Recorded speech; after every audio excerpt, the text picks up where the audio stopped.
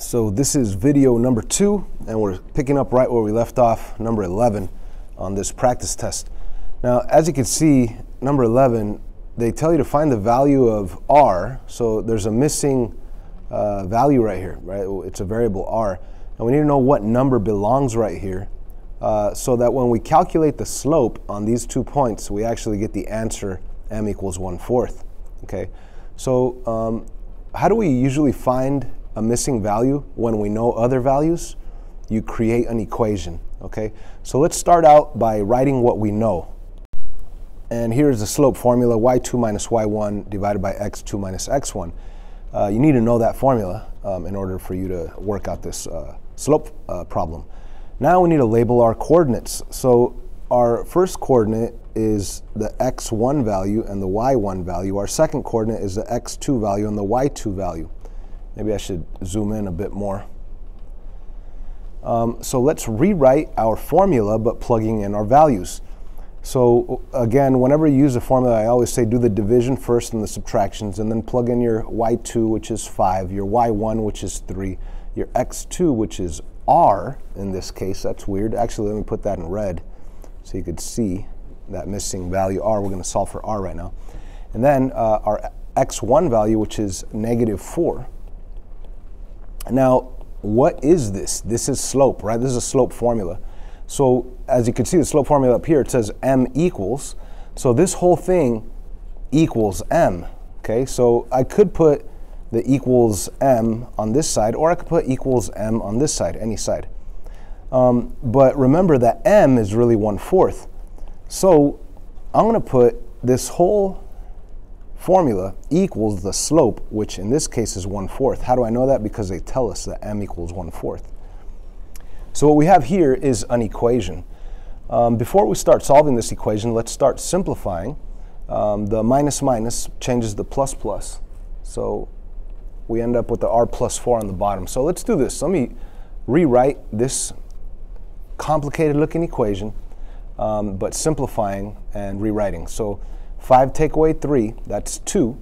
So I have a new equation that says 2 over r plus plus 4, that's just r plus 4, equals 1 over 4. Okay? So what do we have here, guys? We have a proportion. We have one fraction equaling another fraction. So what do we do when we have one fraction equaling another fraction? Cross multiply. Sa, sa. Remember that? Okay, I don't know if you do or whatever. Let's just move on uh, we're going to cross multiply. Okay, uh, so that means 2 times 4 is going to equal r plus 4 times 1. And remember, whenever you have a binomial, when you have more than one term, binomial or trinomial, let's put it in parentheses when you cross multiply. So setting up this cro cross multiplying situation, you're going to say 2 times 4, and let's write that, 2 times 4 equals r plus 4 in parentheses times 1 r plus 4 in parentheses times 1. But then again, r plus 4 times 1, anything times 1 is the same thing, so it's not going to change. So our new equation, simplified equation, is 2 times 4, that's 8, equaling r plus 4. Remember, times 1 times 1 doesn't change it, it stays r plus 4. So we have a simple equation that says 8 equals r plus 4. What do I do next? I subtract 4 to get r by itself. My final answer is 4 equals r.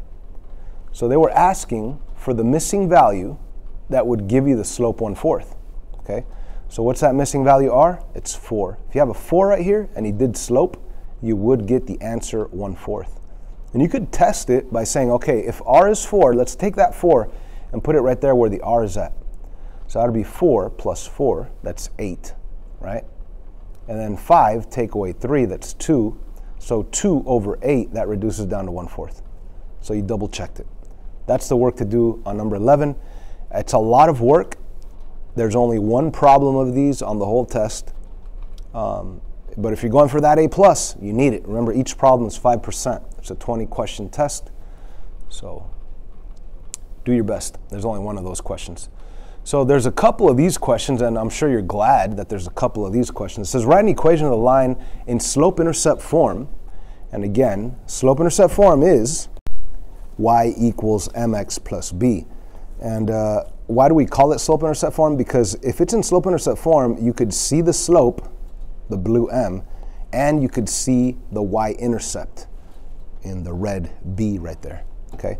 So slope intercept form is y equals mx plus b. So you need two things to be able to write an equation in slope intercept form. You need the slope, you need the intercept. Those are the two things that you need. You need the m and the b. Uh, I said you're going to love these problems because they give you the m and they give you the b, right?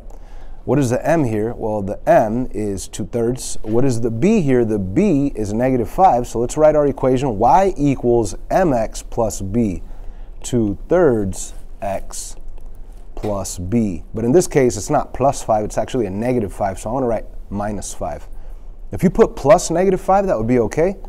But the multiple choice answer will be written as minus 5, not plus negative 5, even though it means the same thing.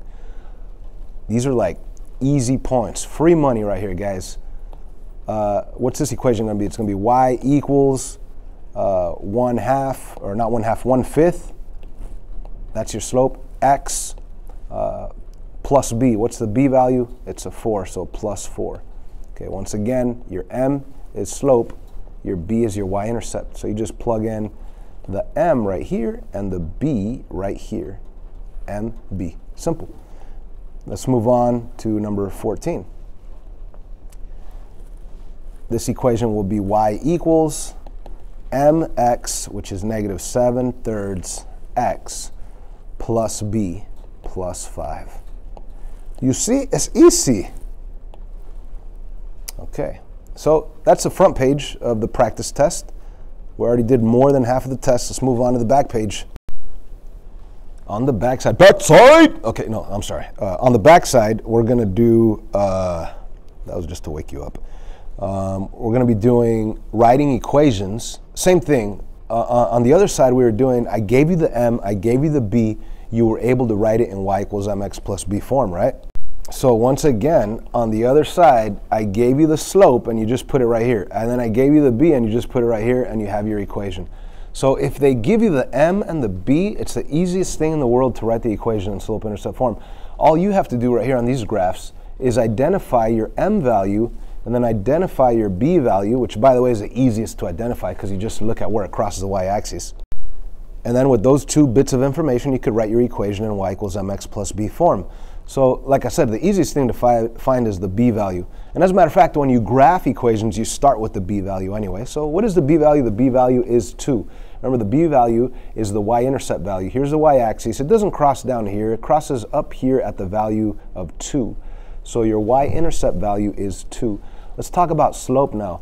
Now, in order for you to identify slope, again, you need to look at lines from left to right. So here's where it begins, or not where it begins, but how you're looking at it. From left going to right, what's happening? Is it going down or is it going up? It's definitely going down. Now, there are suggested points. This point they suggest, and this point they suggest. Okay? Um, so from this point to this one, left to right, it's going down, obviously, so your rise is going to be negative. Remember, your slope value is really a fraction. Rise over run and your rise, if it's going up from left to right, it's going to be positive. If it's going down from left to right, it's going to be negative. But we're always looking at lines the way we read sentences from left to right. So the run always is going to be positive. Okay? So how much does it go down from this point to that point? You're going down one level, two levels, three, four, five, six. So that would be a negative six on the rise. Negative six on the rise. And on the run, if you after going down six, how much do you go over? You go over one, two. So negative two, I mean not negative two, just two on the run. Remember, run's always positive. You're always looking at it from left to right. So your slope is negative six over two, uh, but you're not gonna see that on the multiple choice. They're gonna actually simplify it as much as possible. So if you could reduce the fraction, please do so. In this case, you could actually divide negative six by two. That'll give you negative three, okay? Uh, anyhow, uh, you did not have to use the suggested points, right? You could have used this point and the next clean point. The next clean point would be right here. And as you could see, if you were to use those two points, you go down 1, 2, 3, which is negative 3, over 1. So if you did put it over 1, it would still be negative 3. So you could calculate the point, the slope using any two points on the line, any two nice points on the line. Let's write our equation. Sorry, I took this too long, or too long to do this problem. So y equals m, which is negative 3x, plus b plus 2. There's your equation. y equals mx plus b. Of course, you could put it over 1 if you wanted to, but the multiple choice is not going to put it over 1. So that's what you're going to see on the, on the test tomorrow. Let's look at this one right here. Again, it's really easy. What is your M? Pick two points. How much do you rise? You actually are from left to right, you really are rising. You're going up. So that is a positive rise from left to right. So from here to here, you're going up. How many levels? One, two, three. So that's a positive three on the rise. That's a positive three on the rise. How about the run? The run's always positive. So from this point to this point, they run one, two levels. So the run is two. So that's your slope. How about the b value? That one's the easiest to calculate because you just look where it crosses on. That's 3. So what's your y equals mx plus b equation? y equals 3 over 2x uh, plus 3. Done. Easy peasy, lemon squeezy. Simple as popping a pimple in a dimple. That is gross. Okay, uh, let's move on here. Let's uh, find the slope. Again, the slope and the y-intercept. Now, let's start with the, uh, the y-intercept. It's the easiest thing to do. Where does it cross? That crosses at negative 2. That's all we need for the y-intercept. Let's look, find the b. Let's compare two points, the ones they suggest. So from this point to that point, from left to right, is it going up or is it going down? It's going down, so we know it's going to be negative rise. How much does it go down? It goes down one, two units. How much do you run? One, two, three.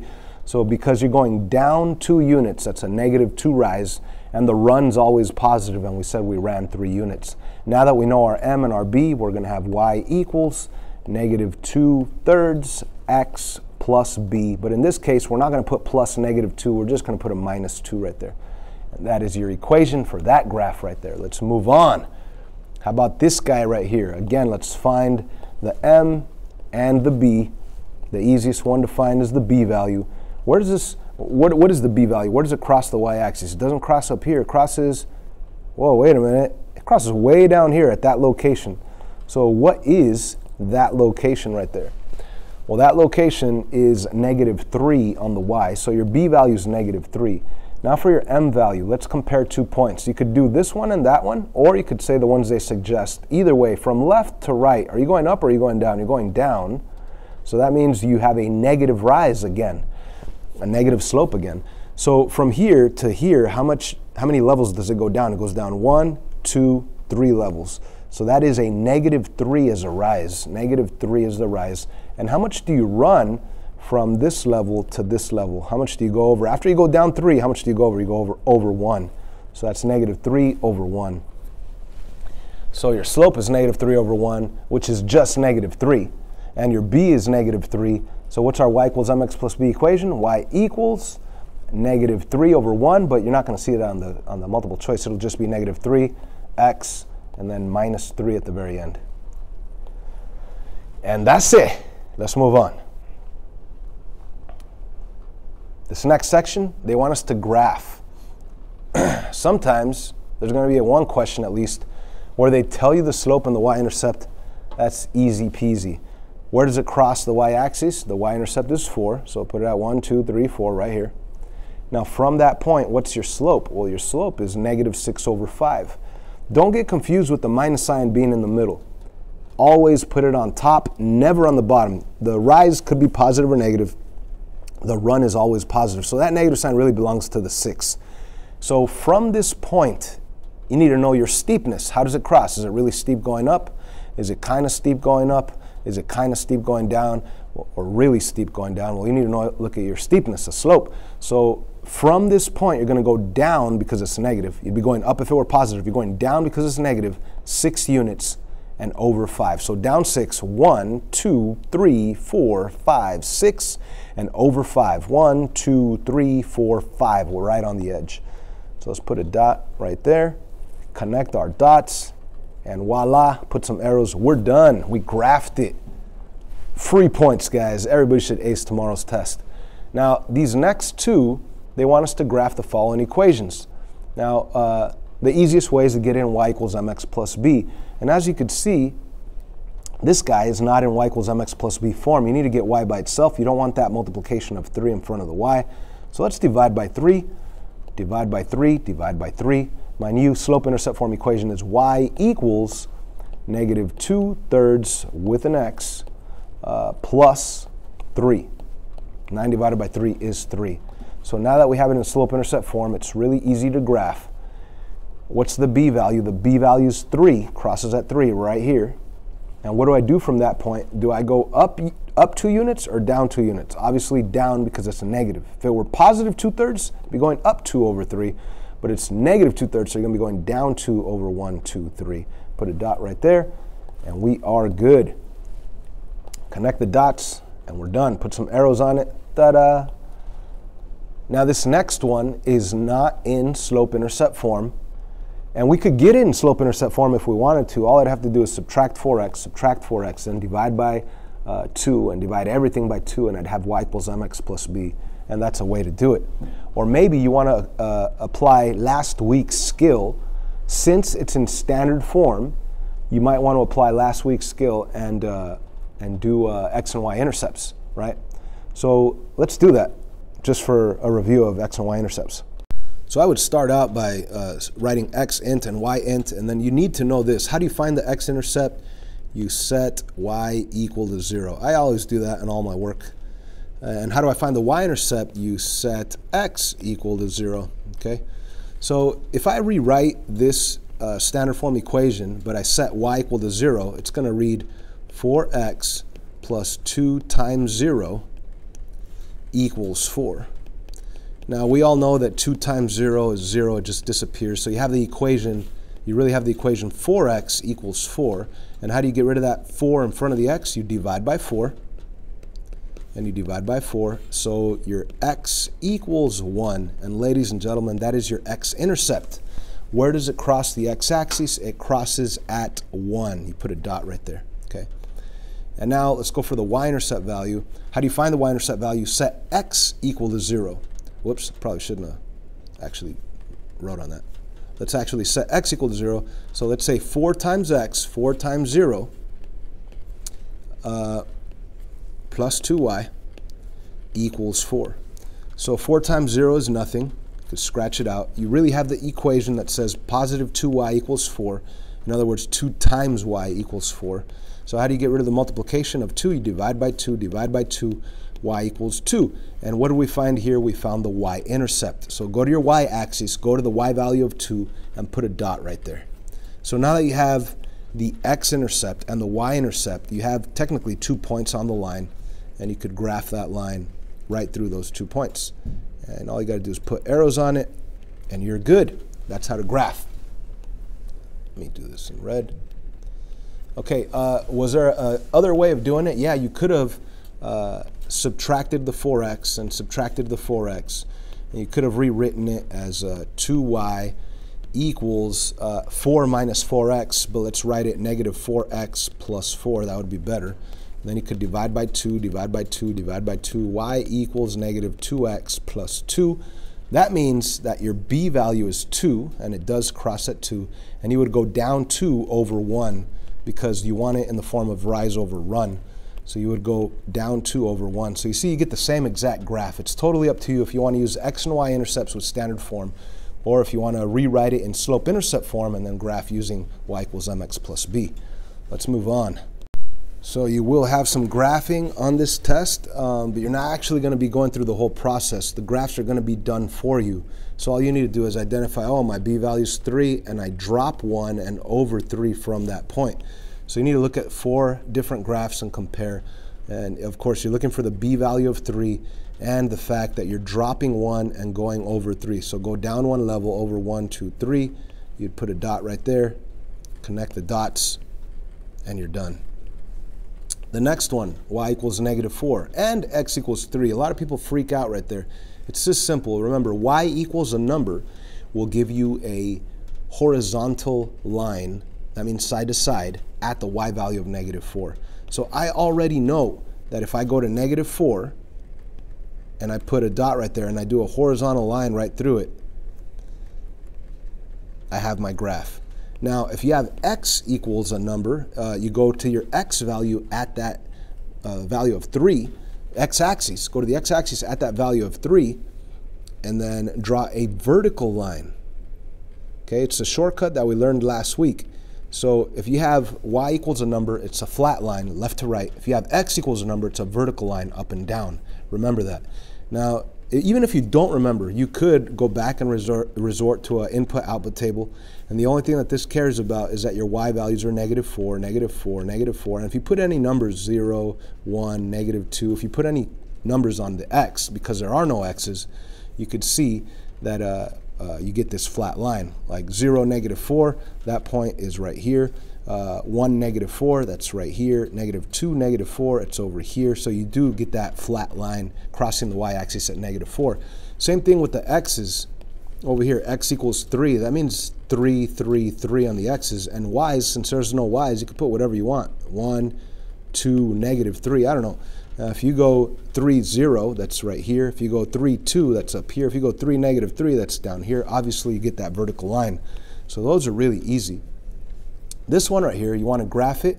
It's not in slope-intercept form yet. All you have to do is subtract 4, subtract 4. Let's rewrite the whole thing. y equals, the slope is going to be negative 3 over 2 with an x on the side, and then minus 4 at the very end. That's my b value. So you start with minus 4, 1, 2, 3, 4, down here at the negative 4 on the y. Now from that point, you're going to go down 3 over 2. Now some people are going to get confused right here because when I go down 1, 2, 3, oh, I'm off the graph. I can't do that. Yes, you can. All right? Let's actually, let's do that. This is not going to be perfectly accurate, but let's just say you went down 1, 2, 3, and then over 1, 2. Let's put a dot right there, okay? So once again, you could just kind of sketch it. one, two, three, and then over 1, 2. So that's your line right there, but this line is off the graph, right? So let's extend it to the left. So let's use the same pattern, which is negative 3 over 2. So you went down 1, 2, 3 over 1, 2. Let's go backwards. 2 this way, up, 1, 2, 3. So 2 this way, up, 1, 2, 3, and put a dot right there. See, it's really easy uh, to, to use that pattern, but backwards. 1, 2. Okay, so the, the pattern is negative 3 over 2. So you went down 1, 2, 3 over 1, 2. Backwards 1, 2, 1, 2, 3. 1, 2, 1, 2, 3. Over 1, 2, 1, 2, 3. So we could take this line uh, as long as we want it to be. We can make it as long as we want it to be by following that same slope pattern. Guys, this is a super long video. I apologize.